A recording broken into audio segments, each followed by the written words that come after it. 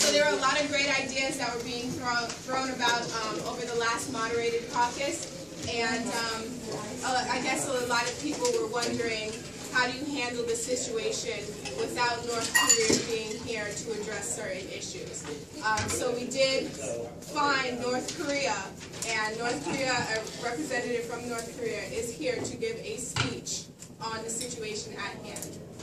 So I now hand the floor over to. Look, delegates, thank you for having me over. Uh, situation is pretty tense on the on the uh, peninsula. The imperialist forces set by the capitalist nations have been aggressive against us for years, and it's frankly insulting to other nations who choose a different economic path and cultural path.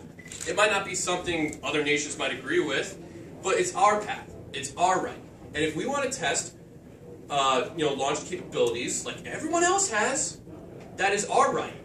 Now, yes, it is unfortunate that the sabotage missile, from our idea of it, exploded over South Korea and caused problems. However, to retaliate unilaterally with your imperialist puppet master, United States, to attack my nation and its vessel with innocent civilians on it is despicable, deplorable, and is frankly insulting to the democratic process, uh, the, uh, the process of diplomacy. We have the organs and bodies to be used to create a new way of diplomacy instead of just sinking a vessel out of nowhere. Insulting. And as a nation that is equal to any other nation in this room and in the world, I should be treated with respect as other nations are. Just because my country isn't as powerful or has the diplomatic abilities of some of the other nations with their deep capitalist pockets while they pincer around and destroy the resources of the world, I don't have the same respect when I am working within my own country. We just want to be left alone. I'm ashamed to be involved in this process.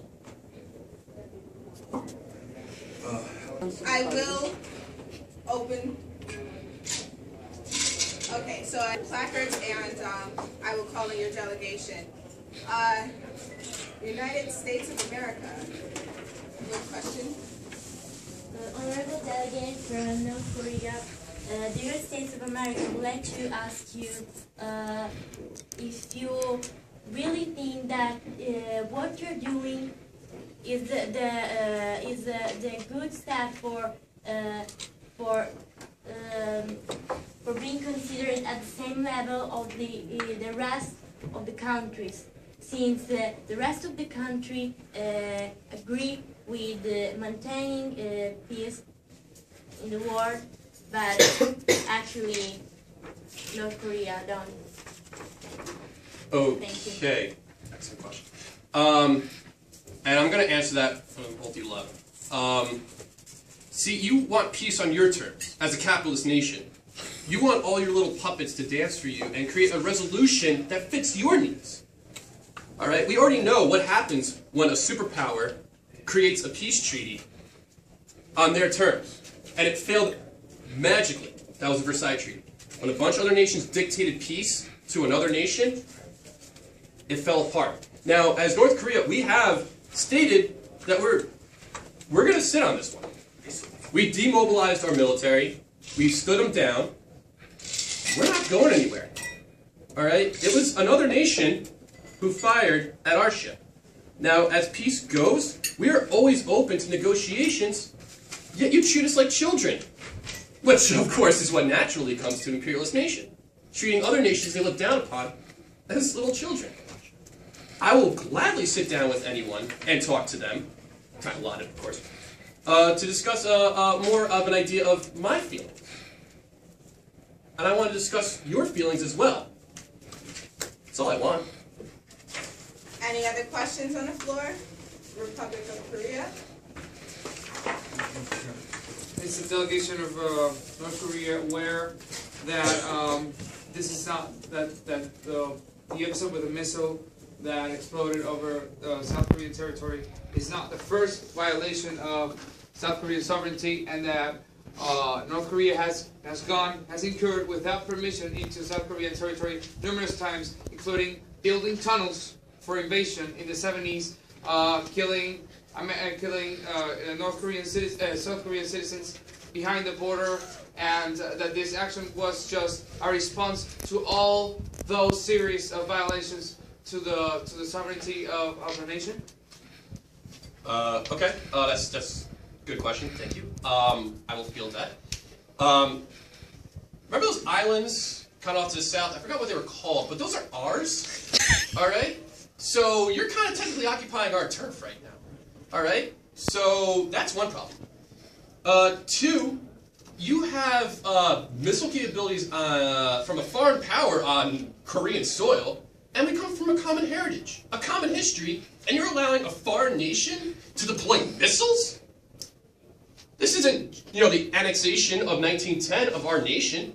We're brothers. We should be working together and not listening to other nations. Now, yes, the tunnels, that was the 70s. Guys were crazy. All right? That's what the 70s were all about. But you have to realize that if you just keep bringing up that past idea of the tunnels, uh, the covert op missions that went around the world, yeah, that, that happened. But remember, those are our islands that you were occupying. Those are your troops from foreign nations you invited onto our soil as common Koreans. And also, uh, if I if I don't forget, um, uh, uh, how many how many how many missiles, nuclear missiles, do you have uh, uh, in South Korea that you uh, don't want to talk about? So remember, it goes both ways.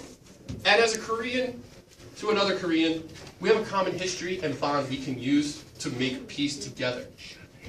I just want to make sure it's on equal footing and that every feeling I have as a sovereign nation with my people and your sovereign people, we can sit down and talk about this together. Permission for a follow-up? Permission for a follow-up? Uh, no follow-ups. I'm going to allow two more questions. Luxembourg.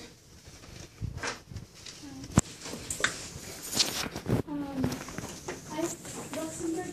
a toying with us because time and time again we have come to treaties and you suddenly dropped out and I feel like I said that you were toying with us. Also, you are condemning these big nations because they are in a way bullying you. But isn't that exactly what you're doing with South Korea? Uh, for your last question, no. Uh, we are simply being bullied, and if the bully gets a black eye and cries about it, is he the victim? Absolutely not. Who's to, who's to judge? Whoa, whoa, whoa, whoa, whoa. No, no follow-up. I like where you're going with that, though. Um, but that's another point. Uh, your other part uh, about the treaties. Yes, yes, the treaties. Now, let's think about this. Let's just, you know, look around the room and see other countries that had treaties and that they broke. All right, that led to certain populations being removed, certain populations being eliminated altogether. Those are treaties that they broke. When those countries break a treaty, it leads to genocide, and when I break a treaty, it's my country defending myself. You cannot claim the moral high ground. Never. Now, don't get me wrong, we all make mistakes. We made plenty of them. And I'm willing to admit that. But don't pretend you have the moral high ground. When, in all honesty, every nation here has broken a treaty, has led to violence. You're just picking on me. One last question.